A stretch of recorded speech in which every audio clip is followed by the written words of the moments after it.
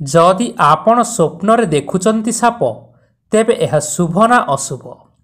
ବନ୍ଧୁଗଣ ହିନ୍ଦୁ ଧର୍ମରେ ସାପକୁ ପୂଜା କରାଯାଇଥାଏ।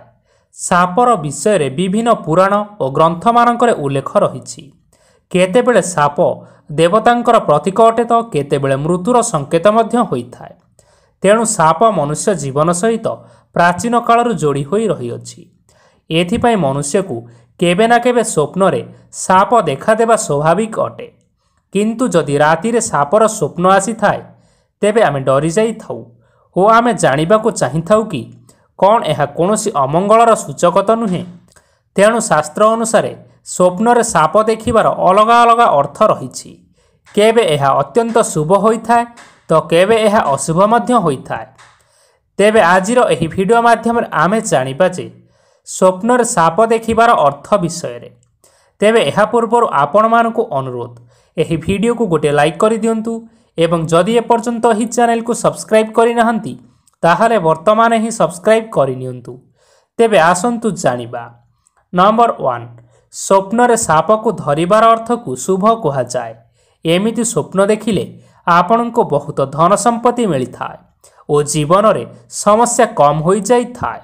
ନମ୍ବର ଟୁ ଯଦି ଆପଣ ସ୍ୱପ୍ନରେ ସାପକୁ ମାରିଦିଅନ୍ତି ତେବେ ଏହାର ଅର୍ଥ ଅଟେ କି ଭବିଷ୍ୟତରେ ଆପଣଙ୍କର ମୃତ୍ୟୁ ଟଳିଯିବାର ଅଛି।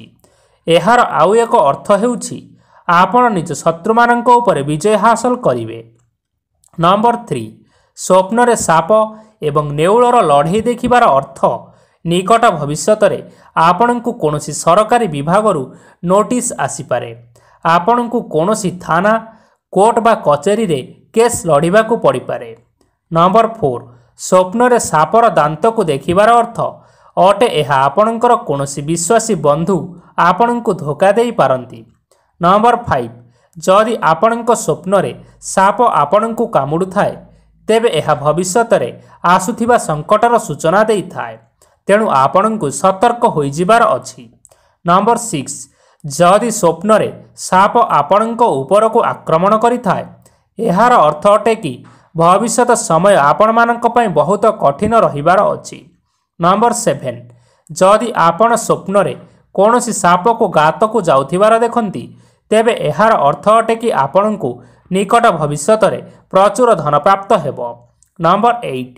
ଯଦି ଆପଣଙ୍କ ସ୍ୱପ୍ନରେ ନିଜକୁ ସାପ ସହିତ ଲଢ଼ୁଥିବାର ଦେଖନ୍ତି ତେବେ ଏହାର ଅର୍ଥ ଅଟେ କି ଆପଣ ଜୀବନରେ ଖରାପ ପରିସ୍ଥିତି ସହିତ ସଫଳତାପୂର୍ବକ ଲଢ଼ିବେ ଓ ସେହି ପରିସ୍ଥିତିକୁ ବଦଳାଇବାରେ ଆପଣମାନେ ସକ୍ଷମ ହେବେ। ନମ୍ବର ନାଇନ୍ ଯଦି ଆପଣ ସ୍ୱପ୍ନରେ ଧଳା ରଙ୍ଗର ସାପ ଦେଖନ୍ତି ତେବେ ଏହାକୁ ବହୁତ ଶୁଭ ମନାଯାଏ। ଏହା ଧନପ୍ରାପ୍ତି ଆଡ଼କୁ ସଙ୍କେତ ଦେଇଥାଏ।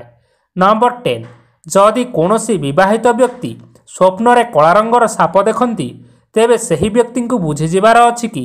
ତାଙ୍କର ବୈବାହିକ ଜୀବନରେ କିଛି ଅସୁବିଧା ଆସିପାରେ। Number eleven.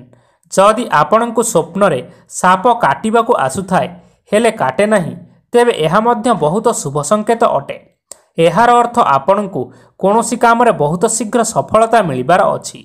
ତେବେ ବନ୍ଧୁଗଣ ଏହି ଥିଲା ସ୍ୱପ୍ନରେ ସାପ ଦେଖିବାର ଅର୍ଥ ବିଷୟରେ। ଆଶା କରୁଛୁ ଆମର ଏହି ଭିଡ଼ିଓଟି ଆପଣମାନଙ୍କର ପସନ୍ଦ ଆସିଥିବ ପସନ୍ଦ ଆସିଥିଲେ ଏହି ଭିଡ଼ିଓକୁ ଗୋଟେ ଲାଇକ୍ କରିଦିଅନ୍ତୁ ଏବଂ ଆପଣଙ୍କ ବନ୍ଧୁମାନଙ୍କ ସହିତ ସେୟାର କରିଦିଅନ୍ତୁ ଧନ୍ୟବାଦ